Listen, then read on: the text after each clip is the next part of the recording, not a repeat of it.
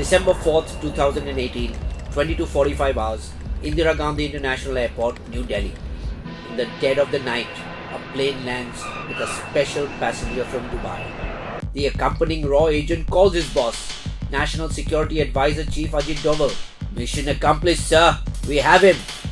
The next day, the mystery man's face was all over the news.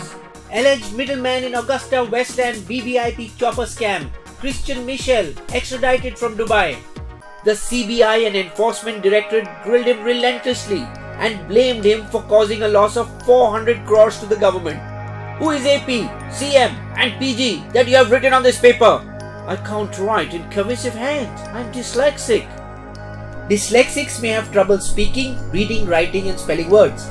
This story starts way back during the 1999 Kargil War when the then Defense Minister George Fernandes needed to visit Siachen frequently. Sir, these helicopters are old and cannot fly above 2000 meters. We need new ones that can go up to 6000 meters. The 6000 meter altitude requirement was made by the IAF keeping in mind that the Siachen Glacier is at a height of 5400 meters or approximately 16,000 feet. But this height requirement left the Defense Ministry with a choice of only one helicopter, the Eurocopter EC-225. Then IAF Chief S. Krishnaswamy was not happy with the lack of choices. Since they are not meant for military use but for VVIP transport, let's ask the PMO for their opinion. Vajpayee's then NSA chief, PM and President rarely fly above 4500 meters. We should consult the SPG. The SPG or Special Protection Group's mandate is to protect VVIPs. They had a different point of view. Rather than higher flying height, we need more cabin height so that our security personnel can stand erect. In 2004, the government changed, and two years later, the new Air Chief SP Tyagi sent out the final request for proposal to various manufacturers. We need to buy 12 choppers with a flying altitude of 4,500 meters. Trials were conducted over the next two years. Not in India as should have been the case, but in the US and UK, a violation of procedure. The American-made Sikorsky S-92 did not meet the IAF's requirement of reaching 4,500 meters without maximum power. Interestingly, in July 2009, Hillary Clinton pitched for the American-made chopper to the then Prime Minister Dr. Manmohan Singh. Why is India buying the 101? The US cancelled it because it is too extravagant. While Russia's Rosoboronexport refused to sign the mandatory integrity contract for the Mi-172 helicopter and was left out. Incidentally, India has just bought the S-400 missiles from the same company. See Bisbo's story. Finally, in 2010, UK's AgustaWestland AW101 helicopter, part of Italy's second largest industrial group, Finmeccanica, bagged the deal for supplying 12 choppers at 3,546 crore or approximately 500 million euro. But things took a bad turn for them when in 2012 they came under the radar of Italian investigators in connection with various bribery cases. Lorenzo Borgogni, a Finn Finmeccanica employee revealed Giuseppe Orsi paid two middlemen to get the India's contract, Guido Haschke and Christian Michel.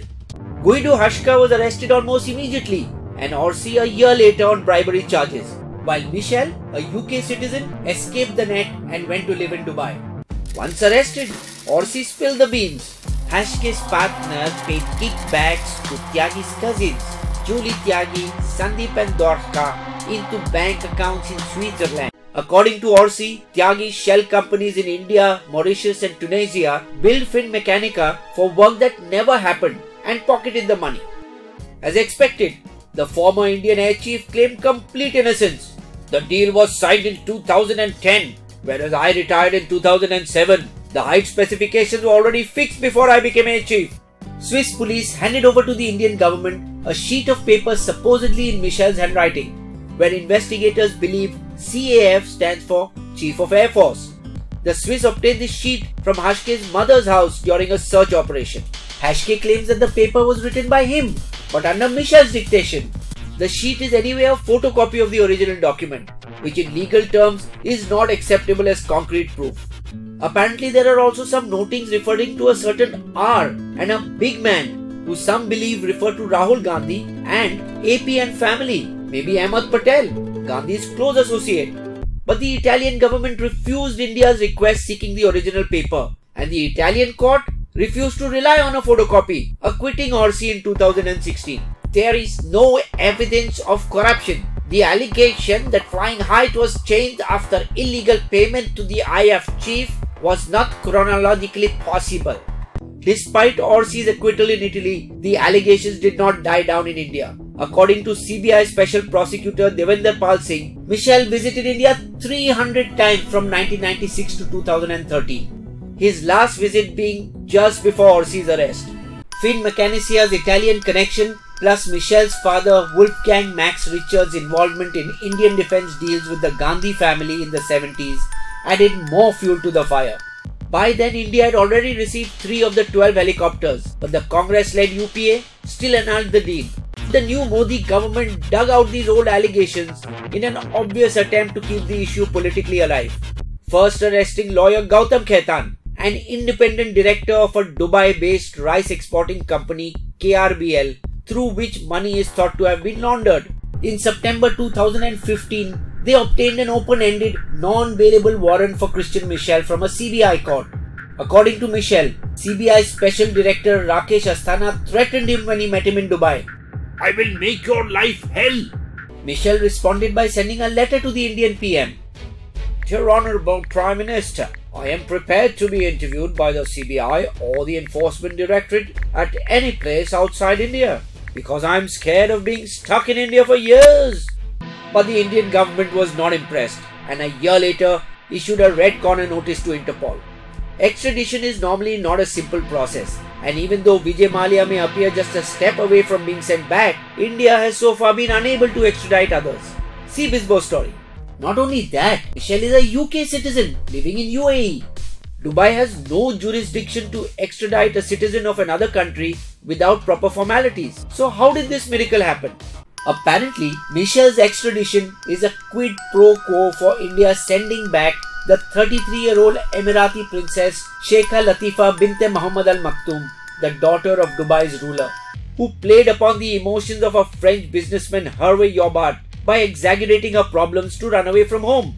I've been mistreated and oppressed all my life. Women are treated like subhuman. My father can't continue to do what he's been doing to us all. The unlikely story was lapped up by the former naval officer who in 2011 had himself escaped from Dubai after his business broke down and the authorities were after him. By dressing himself up as a woman, he scuba dived towards an awaiting boat and sailed away to India. He helped Latifa hatch a similar plan. On March 4, 2018, the princess, joined by her friend Tiina Jauhiainen, drove across the UAE border to Oman then set out to sea on a 26 mile trip by a jet ski and an inflatable boat towards international waters, where Jaubert was waiting in his US registered yacht Nostromo, ready to once again sail to India. The enraged Emir realized where they were headed and called up India. Get me back my daughter! Sensing an opportunity, India's brilliant NSA chief Ajit Doval ordered the Indian Coast Guard to board the yacht of Goa and handed the princess back to her father. So when Doval called in his favor, we need you to extradite uh, our Mr. Christian Michel living in Dubai. The UAE ruler repaid his debt.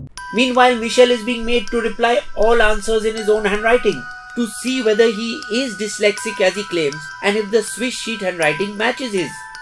India then extradited yet another co-accused from Dubai, Rajiv Talwar, who turned a prover. I will reveal the entire money trail to Enforcement Directorate. The CBI further believes that Michel paid over 6.2 million euro to 18 Indian companies in a bid to push the Eurofighter jet instead of Rafale. See Bisbo's story on the Rafale deal. The ED has asked France to confiscate the apartment in Paris worth almost a million euro until the trial is decided in India. Registered in his ex-wife's name, they believe it was bought by the proceeds of kickbacks. Michel's fear, of course, has come true as he remains in custody despite the maximum 60 days mandated under law. Kept in the same ward as 16 Kashmiri separatists and other hardened criminals rather than those accused of white collar crimes. With gangster Chota Rajan as his next door inmate. Though the authorities are making sure he remains in good health with daily medical checkups. Co accused Gautam Khaitan was re arrested in January. 8.5 crore of his properties in Delhi, Haryana, and Uttarakhand, and six foreign bank accounts that he forgot to disclose to the income tax was sealed by the ED. So far, nothing concrete has come out to link the Gandhis to the AgustaWestland scam. Or are they waiting for the right moment just before elections? Surely this trump card could have been put to better use than for petty politics. Bisbo's Limerick Modi accused Gandhis in the chopper scam. Rahul played the game in the Rafale sham. Without common sense, they weaken our defense. Looks like politicians just don't care a damn. Subscribe to Bisbo's channel and be sure to click on the bell icon. Be the first to know when Bizbo releases a new video.